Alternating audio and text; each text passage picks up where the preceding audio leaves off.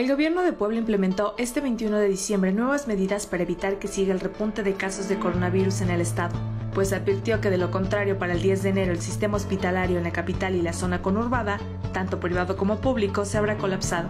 En Central hemos hecho una lista de los 10 puntos más importantes que ya entraron en vigor. 1. Quedan prohibidas las reuniones de más de 6 personas. Estos encuentros deberán realizarse en espacios abiertos. 2. Está prohibida la venta de alcohol en todo el estado, a excepción de los restaurantes en donde se podrá consumir por copeo sin descorche. 3. Para la fiesta de Navidad y Año Nuevo se solicita que solo se reúnan las personas que viven en la misma casa. 4. El horario de cierre de restaurantes se mantiene a las 9 de la noche en servicio en mesas y a las 11 a domicilio. Su aforo se reducirá al 25%.